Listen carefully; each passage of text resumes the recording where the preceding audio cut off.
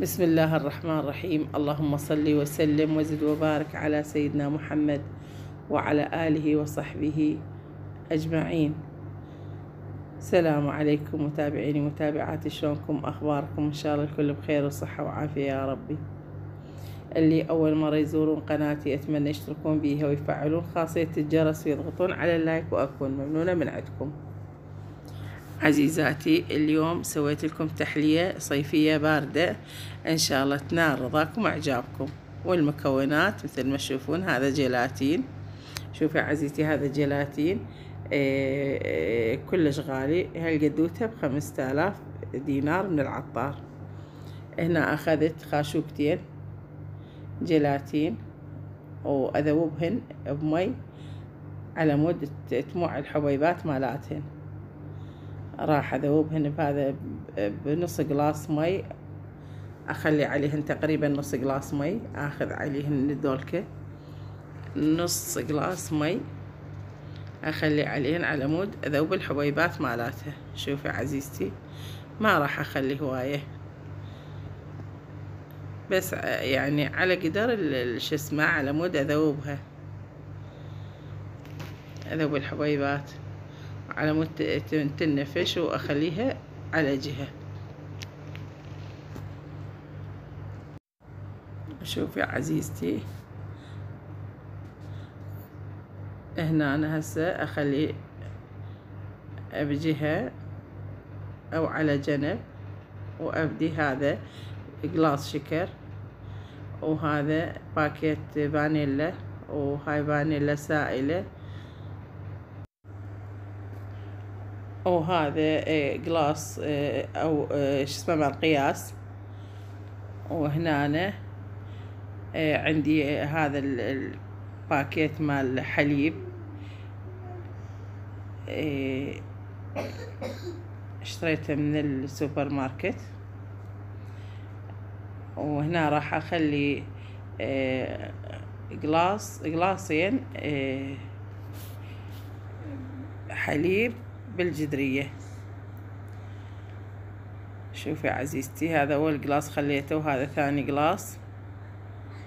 طبعا هذا القلاص بالقياسات بقلاصاتنا الإعتيادية مالات الزجاجيات عاد الشوش قلاص وربع أو قلاص ونص يسوي. هذا القلاص الأزرق. هنا راح أخليه يحمى بس ما أخليه يفور. على حرارة حرارته بس يعني تصير قوية ما أخليه يفور. قبل ما يفور أنا أطفيه على مود أضيف الجيلاتين. شوف الجيلاتين شلون صاير على شكل حلقوم شوفي عزيزتي. وهم يعني لا تقول هسه ها شلون صاير وشلون يصير. هو راح يذوب لأن الحليب حار. وأبقى بالخفاقة اليدوية. أخفقه ويا الحليب الحار. هسه راح يذوب كليته. شوفي. هسه يذوب الحليب وال اسمه والجيلاتين. وبعدين أضيف عليهم الشكر.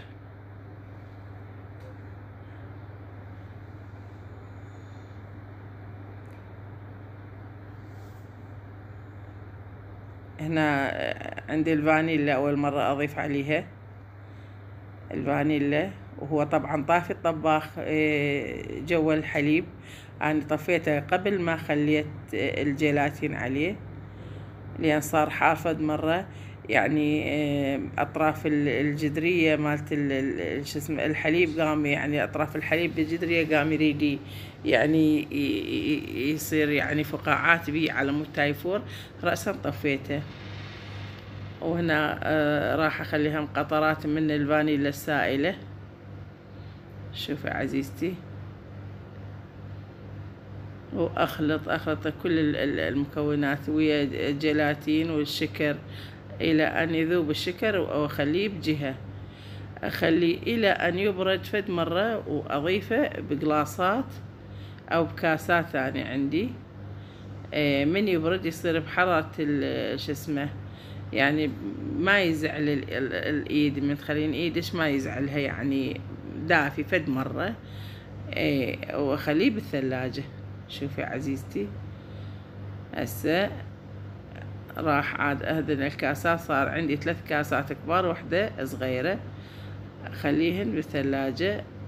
فد ثلاث ساعات تاني خليتهن. إي ثلاث ساعات يمكن ثلاث ساعات ونص وبعدين طلعتهن. من شو اسمه من الثلاجة. بس أول مرة قبل ما طلعت من الثلاجة أنا سويت كراميل. هذا النشا. راح آخذ خاشوقة وشويونة على بالقلاص أخليه على مود أذوبها وأخليها فوق الكراميل. من أذوب الكراميل أخليه فوقها. شوفي خاشوقة ونص أخذت من عندها تقريبا ربع خاشوقة يعني مو كاملة. فيعني ربع ربع كوب مال شاي هذا ربع كوب تخلين بيه نشا. وهنا قلاص هذا. إيه وقلاص مو مليان يعني ثلاث أرباع القلاص شكر. خليت.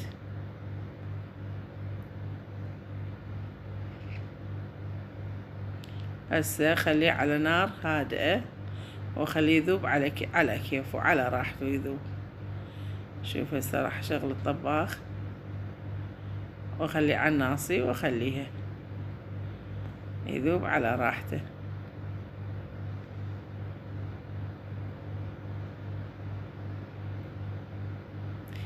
عزيزاتي أنا أشكركم جدا على تعليقاتكم الحلوة. و آه، يعني أنا من أشوف تعليقاتكم أفرح بيها والله. شكرا جزيلا لكم كلكم على تعليقاتكم الحلوة.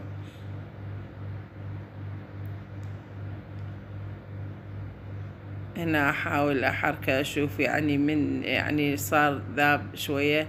شوفي بدأ يذوب عندي الشكر أو السكر.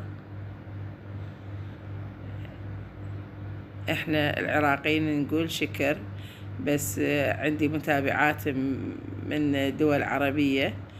إيه، يعني احتمال ما يسمونه شكر يسمونه سكر. إيه، فهو سكر. بس إحنا نقول له شكر. هذا السكر بدأ يذوب شوية شوية على نار هادئة. على مود ما طول عليكم الفيديو. أني قصيت من عنده حتى يذوب شو اسمه كليته التكتلات كلها تروح. هاي مالات الشكر. شوفي شلون عزيزتي لازم 24 ساعة إيدك بالش اسمه تحركين. تحركين بالطاوة. ما تتركينه هنا راح أخلي نص قلاص مي فوق الش اسمه فوق الكراميل. شوفي هسه راح اخليه شوفي كليته شلون صار. وهسه آه، راح هذا هم الشكر كليته راح يعني يذوب. هسه راح كله أذوبه هالتكتلات اللي صارت. راح كلها تذوب. هم على نار هادئة وكلها راح تذوب. شوفي عزيزتي.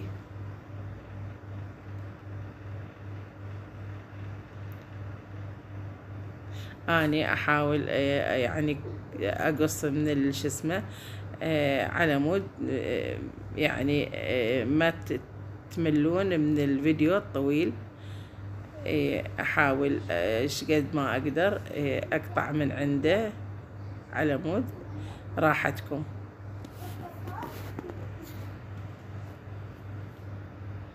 هنا أنا بعد ما ماعت كل التكتلات ضفت شو اسمه قلاص النشا ويا المي.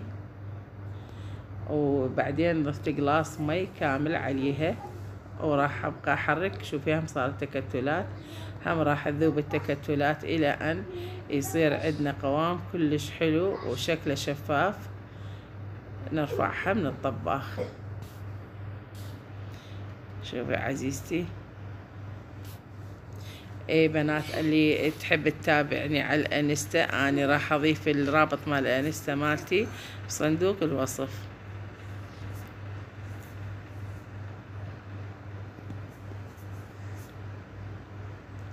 هنا شوفي إيه شلون صارت؟ مثل ما قلت لكم ما حبيت يطول عليكم الفيديو. هو يريد له وقت.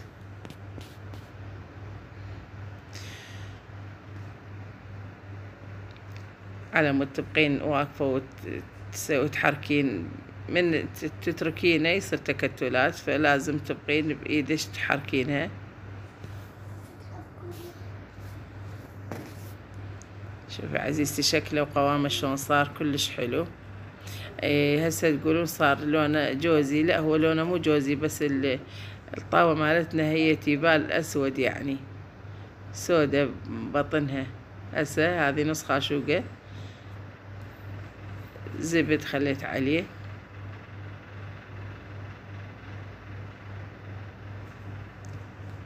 شوفي عزيزتي. وهسه هم أبقى أخفق بها إلى أن تذوب الزبدة.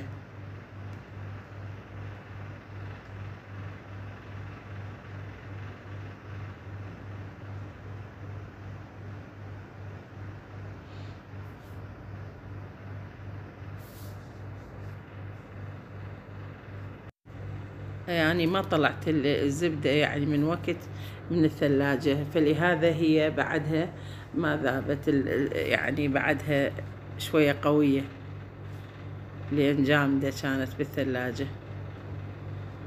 هسه الذوب وأطلع الكاسات من الثلاجة. وأضيف الكراميل عليهن. هسه راح تشوفون.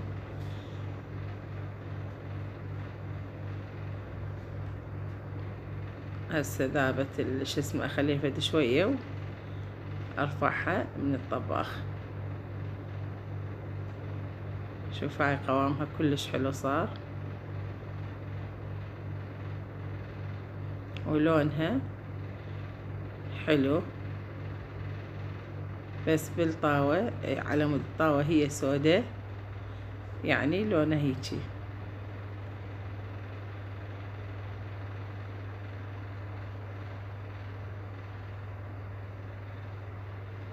شوفي عزيزتي.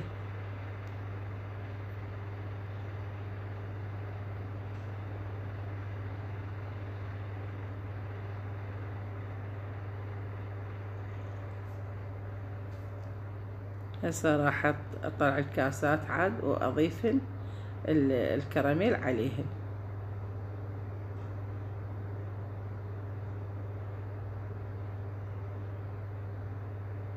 هاي الكاسات طلعتهن. شوفي أم خليت لها المجال على مود الكراميل يعني ما ترستهن من الحليب. شوفي هنا. يعني آه، لين شوية تعبت وأني أخفق بالكراميل. نسيت أشغل الكاميرا إلى أن آه، ذكرت أني ما حطيت الكاميرا ما فتحت الكاميرا على شو اسمه على الكراميل. شلون يعني أخلي فوقها بس هو مبين يعني شوفي عزيزتي. وهذا بعد ما خليتها ورا ساعتين. من الثلاجة بالقوة الحليب ما ينقص بالقوة قصيته بالخاشوقة. شوفي عزيزتي هسه شوفك اياه وشكله وطعمه كلش طيب. تمنيتكم ويانا والله. شوفي عزيزتي. كلش طيب صار.